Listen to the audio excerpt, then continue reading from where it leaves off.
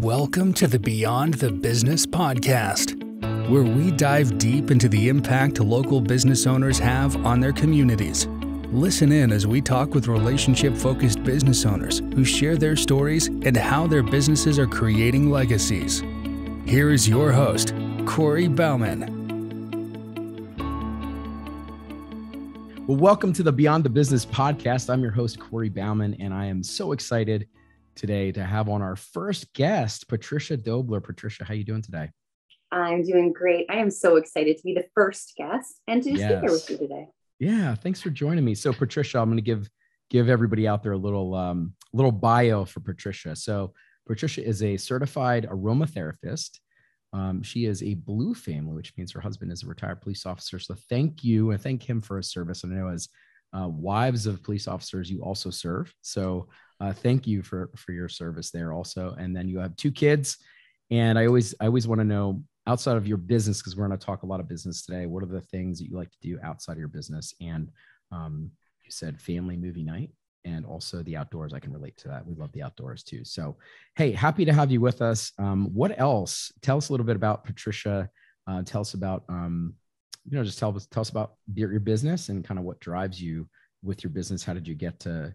Uh, how did you get to start start your business and become a, a certified aromatherapist? Yeah. Uh, well, our journey started actually in New York. We are born and bred New Yorkers the accent may come in and out. Um, so about eight years ago, we were just on a mission to start looking at the things in our home that weren't serving us as far as the products we were using. And we then started to make the switch to more natural solutions with essential oils and really just opened up a lot of doors. I was in sales and marketing in corporate America before.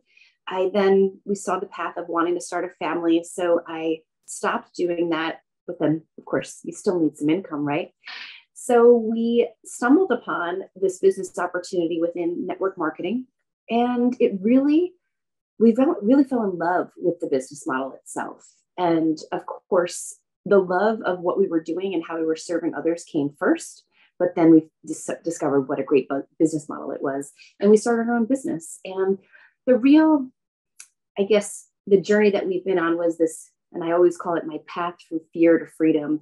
Uh, we had some real difficult health challenges with my son, and I felt powerless a lot of times. And the way I got my power back was by using essential oils, using to first of all calm myself and manage my stress, but also to support him and his body. And it gave me such a feeling of empowerment that I knew that I had to share it with others and help other families get that empowerment back when sometimes you feel powerless as a parent.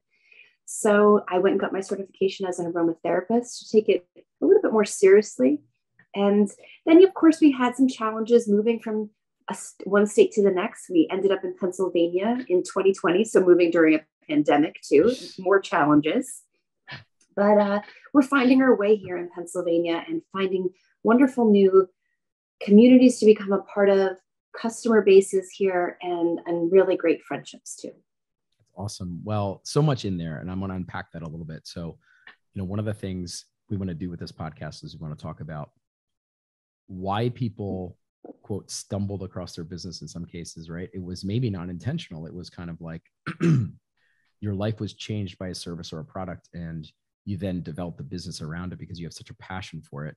I want to dive a little bit deeper into you mentioned your son having some challenges. Kind of what was that like? Um, how did you get introduced to, to the oils themselves? And then like when was this moment where you were like, I just, it's been such an impact for me. Like I need to figure out how to like help other people. So we started using them. I really started using them because I was having headaches and I just was tired of using traditional medications to control them. So we started just getting little aha moments of, wow, these are working. They're supporting us, doing great. Of course, my husband was super skeptical. You know, logical cop brain was like, okay, you go have your little essential oils. But then he became the police officer with a diffuser in his police car, a kit of his own oils, telling all the guys about the oils. So it was pretty funny. But he's actually the one that pushed me to do this because he saw how passionate I was just in speaking about them. And he's the one that said, you should do this as a business. We started using when I was pregnant with my second child. And I was like, there's no way I am starting a business while being pregnant. But as any business owner knows, there's no good time or perfect time to start a business. Uh, so my husband pushed me to do it. And my son was at that point about three and a half. So we started sharing for the next year and loving everything, but not having that real why yet, you know, kind of just skirting around it of just, okay, it's a business. He then, when he was four and a half, started having febrile seizures. Uh, his first one was extremely traumatizing for me. He was turning blue on the couch. I had to do CPR, call 911, which no parent should ever have to call 911 for their child.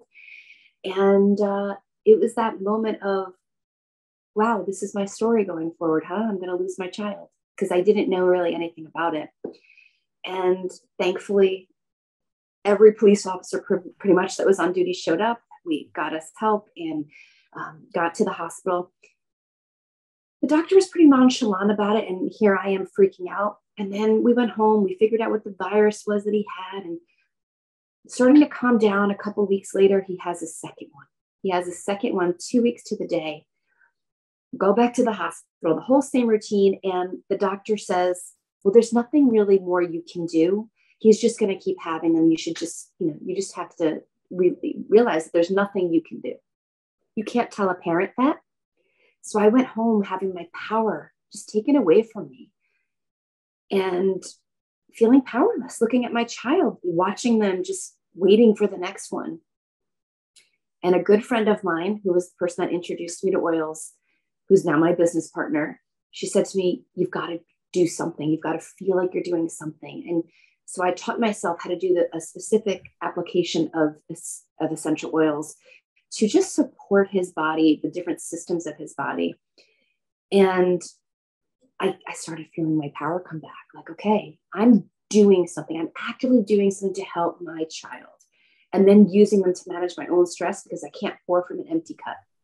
And that was the moment that it switched from being living in fear to starting my path to freedom and I then needed to teach others. And I took it a lot more seriously from that point forward of doing the business with more strategy in mind and, and intention because this message needed to get out to other parents. And I wasn't going to be ashamed of my message anymore. I wasn't going to be um, shy away from sharing it anymore because this is something everyone needed.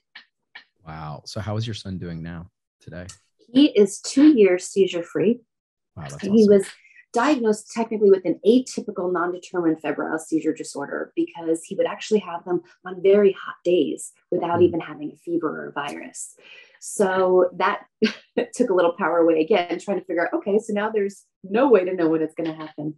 But um, it's really more traumatizing for me. He doesn't remember anything, of course, but he is healthy. He's strong. We had switched into really powerful supplements too. And we work very hard to keep him well, right? Because when you get sick, it's when possibly you might run a fever. So we do everything in our power to keep his body well. Hmm.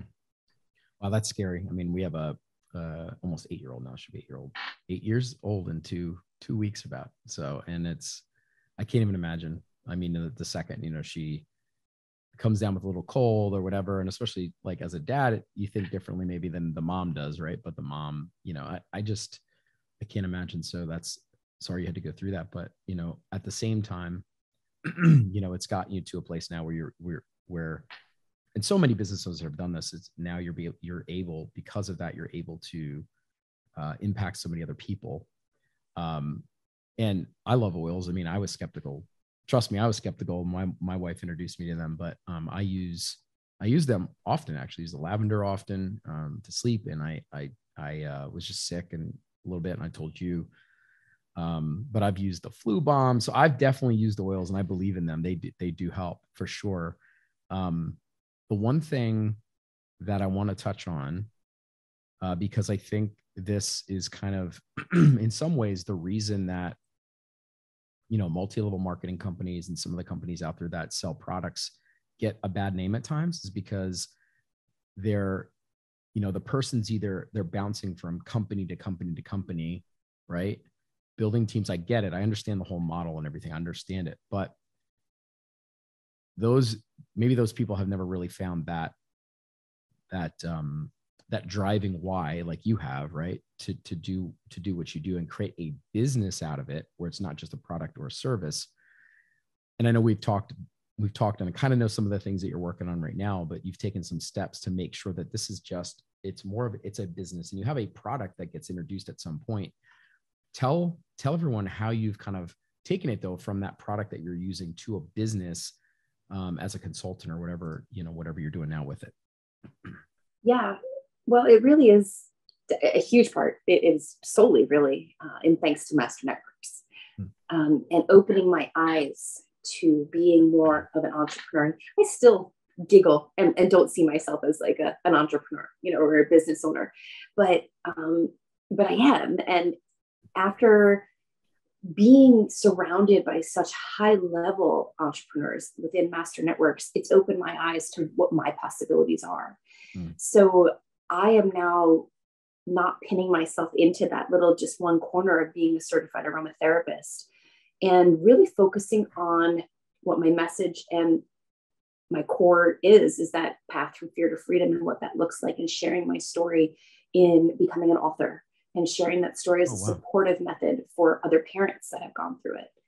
Um, creating ebooks of things that I'm passionate about. So it's really helping me to branch off and develop this overall mission of helping others get on their own path from fear to freedom. And freedom not meaning in any political term, freedom being whatever's stepping away from whatever's holding you back from being the best version of yourself. That's awesome. There's so many things as business owners we can do with our businesses and sometimes it can be overwhelming right? So how do you as as trisha i'm talking to trisha now how does trisha choose what to invest her time in her money in those types of things? Like there's so much out there and there's so much there's so many flashy things out there that we can choose uh, to help us with our businesses and not all of them do but how do you choose like what made you like like where did you get to the place where you said i want to write a book. I want i want to write an ebook or whatever it is. I think it's an ebook right? Mm. yeah. Well it's funny I am a big believer in, I mean, it's really not surprising. I'm into oils and woo woo stuff, but I am a big believer in energy and intuition. I've seen, and, and, and within the network marketing realm, there's, of course, a ton of coaching opportunities available. There's a coach left and right, right? For every type of person, every everything. And I've seen different ones at different price points, and I've kind of scoffed at them like, eh, you know, I think it's because I never saw the value of how it could impact me personally. I didn't make a connection. But when I sat, um, I was recently at the Master Networks uh, convention called Connect. I finally saw a coaching program that I knew was going to bring me value. I saw the worth of it. So that's when I decided to make the investment. And it was a huge decision for our family.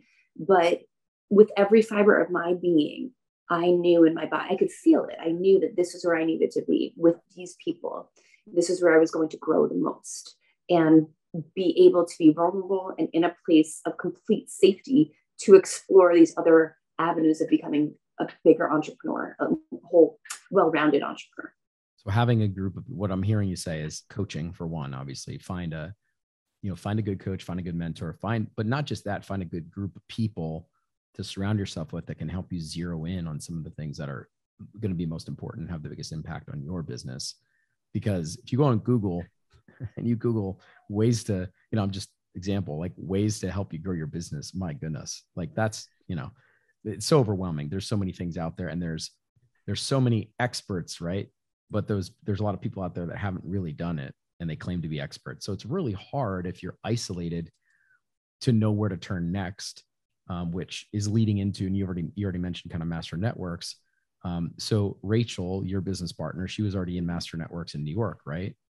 Actually, I was in first. Or you were in first. Tell me yeah. that story. So how did how did you get introduced to master networks, and then you know how did you bring Rachel in? Like how like how did that all happen? So I again moving from New York to mm-hmm. Pennsylvania in 2020 so no one is really ready for in-person events yet, right? You're not going to school, to the PTO meetings, to ballet, where you're meeting people, able to connect and, and talk about what you do. So you have to think outside the box if you're going to grow a business. So I immediately knew I needed a networking group. So I stumbled upon a couple different ones in Pennsylvania. They were not the right fit for me, nothing against them. They just didn't vibe right for me. And so I put a post in a community Facebook group like, are there any business networking groups? And somebody introduced me to Michelle Davis, who's the, the president of the Doylestown chapter of Master Networks. And immediately upon talking and meeting Michelle and then sitting in on my on my first meeting there, I knew this was the place for me. I knew these were people that were going to be invested in my growth and in my success and um, and just in my life. Like want to know about me, want to care about me. And I just felt, especially a person moving to an area and not knowing it, to be like, I kind of just want a tribe of people too. So that's how I got into it in uh, I think like October of 2020. And I told Rachel, my business partner in New York, and she actually got introduced to it uh, quickly short uh, after me from another business owner in New York. And she didn't put it together that it was the same one that that's I was. funny. So yeah, that's funny. Yeah, I didn't I didn't know that story. So that's that's it's good to hear that. I always I'm always curious how people got to become part of our community.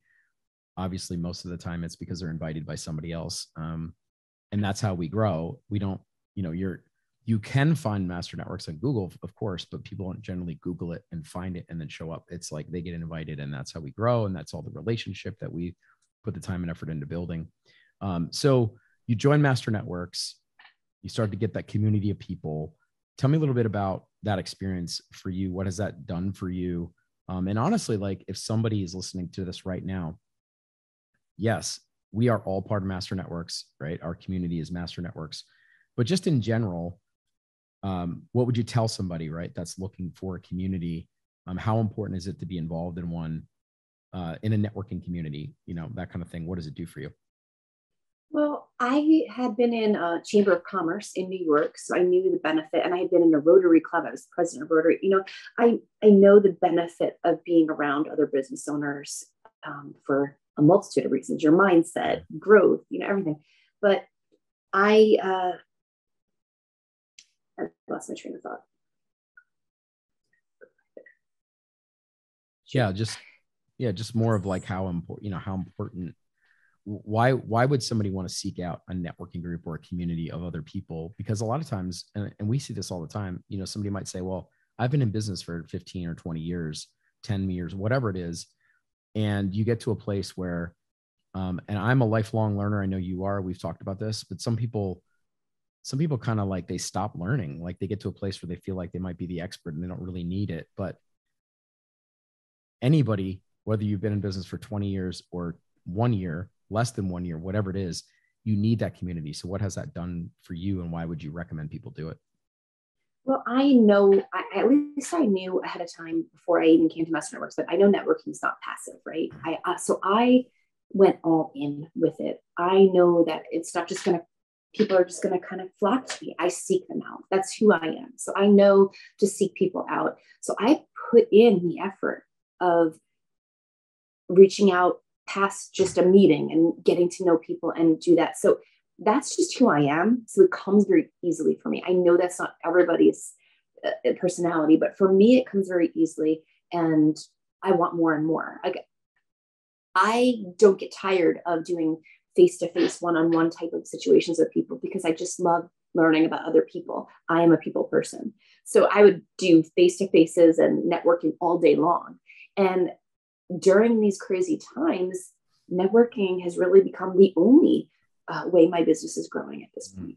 So I have to nurture it. I have to put in the effort. It is my, one of my sole income producing activities that we talk about often in building a business and where you put your time networking is it. So at first, I would see a face to face like, oh, I'm just going to a networking meeting. But no, no, no. This is an income producing activity. It is worth my time. It is worth being present. And I put that into everything that I do with it. Mm. Okay. So that last, piece, that last piece you said was gold. And, and this is, I think, a missed opportunity for a lot of folks that network is that they don't treat it as a as a lead generation activity. They treat it as a marketing activity in some cases or a social event, a place to kind of kick back, you know, chat with your friends. So let me be, I mean, let's be clear. Like, let's be honest. I mean, that some of that does happen, right? And it should happen. I mean, that's part of us socializing as human beings. But we always say this at, at our meetings is that that meeting, that networking meeting you're at, if you're intentional about it, it should be literally the most important meeting you have all week and the most productive meeting you have all week because you have a board of directors, whether it's Master Networks or one or, or another networking group. If your group's not doing that for you, it's not working for you. But you also have to put the time and the effort into uh, into putting into building the relationship. And yeah, it. I mean, it is completely a lead generation activity, um, and that doesn't make it less relational, right? No. But, but you have to be more relational. absolutely, there's absolutely a way to keep it to show up authentically and with intention for that relationship building, but still always be building a business. It's there's absolutely a balance there. I believe it. I I can sit back. My listening skills have grown so much from being in Master Networks. I'm not a great listener. I'm a talker.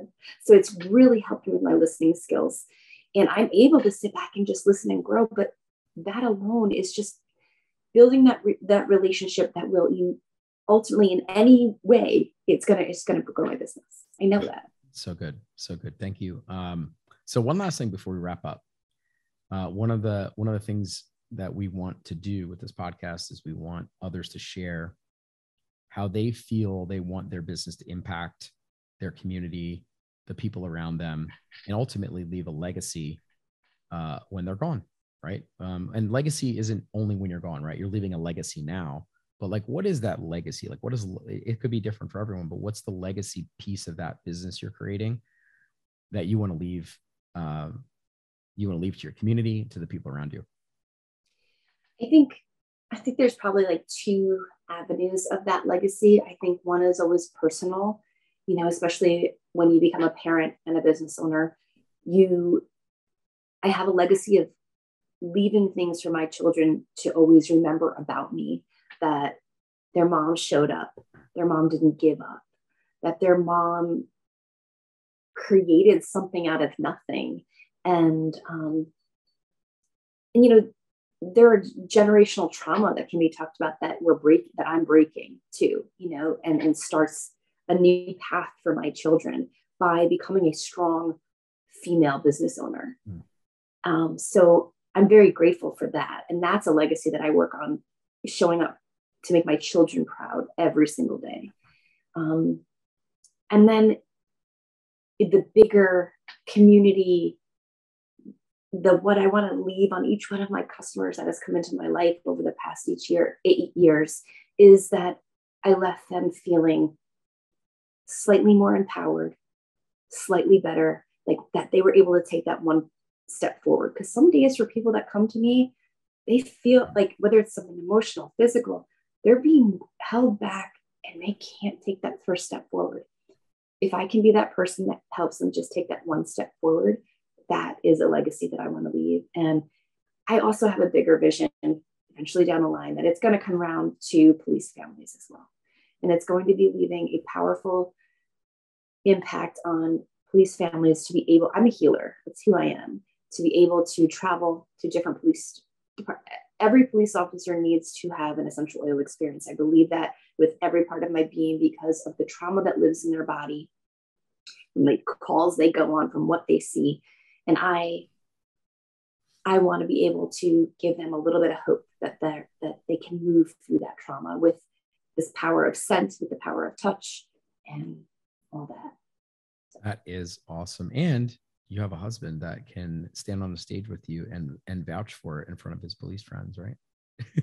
Well, it's not fluffy. It's not but fluffy. That's, that's putting a lot on the big guy. You know, I'm the talker. Uh, he's, the, he's the researcher. He does all the behind the scenes business stuff. Yeah. Um, but I'm the one that comes out to do it all. But but yeah, he has no problem talking one on one for sure with other police yeah. officers about the power of what we've seen the last eight years in using them. Everybody needs a good partner behind the scenes, right? Oh, Everybody for sure. That. So, so that's important. Um, thank you so much for sharing that. And, um, you know, as you're talking, I was thinking of how cool it's going to be for your son, you know, in years and years to look back and you be able to, to kind of share that story with him of what, what you went through when he was having seizures and how you turned this thing into a business that's impacted so many people. Um, yeah, that's the goal this year is to get it written out because I feel it's important that other, not not from a, a clinical viewpoint, yeah. from a parent to validate other parents' um, feelings. So that's what we're working on getting that story out this year and sharing it. So is that the ebook or is that something different? That's actually going to be a book book. Okay. Awesome. Yeah. So we have a goal. So, so the ebook's not done yet though, right? You're no, I'm working on those too because okay. I got in my head and I overthought it and revamped it. But yes, the ebooks are more tools for definitely what I feel most confident in sharing about essential oils. And for me, that's uh, DIY and um, switching out all the toxic products in my home. So that's going to be more that. And then the the book that we're writing is definitely our story and our journey with our son. I love it. I love it. Well, I'm looking forward to it. So keep me posted Thank on that. You. I'll definitely be buying a copy of that one and your ebook. Let me know when that's done. Um, I'm I was it's so funny. I was going to ask, how do people find you? And I see the QR code behind you. Now, if you're listening to this and you're not watching the video, you won't get the QR code. Well, you know what? Well, it's easy. It's an easy website. In the description, I'll put the website. But what is the what like? How can people get a hold of you? So I'm big on social media. So if you want to see silly dancing, cute puppies, um, and me make a fool of myself while I try to share some information about essential oils, you can follow me on Instagram and Facebook. Uh, it's my whole family essentials. Awesome, my whole family essentials, and uh, and the website is uh, www.mywholefamilyessentials.com. Awesome. And I'll put that information in the description here on the podcast and you can look for it there. Trisha, thank you for being our first guest on the podcast. Thanks, Corey. This is yeah. pretty painless. See, I told you it'd be fun. it's fun, right? We're just talking. We're talking like two long lost friends. And uh, no, I appreciate you sharing your heart today because that's important for business owners to know that it's not always about, yes, we have to grow our businesses. It's not always about the, the next sale it's about the next person you can come in contact with and build a relationship with. That, yes, maybe it leads to a sale, but maybe they just share what they've learned with someone else and it impacts them that way. Right. And There's so many different the ways. person that is the next step to the next thing that you're supposed to do. Maybe yes. they may never be a customer of yours. Maybe they need they may be the who that gets you to the next step. Yeah. They're not all customers, and that's okay. No, and absolutely. We say it all not. the time. So well, thank you so much again. And uh, we'll talk to you soon. Thanks, Trisha. Thanks for listening to the first episode of the On the Business podcast.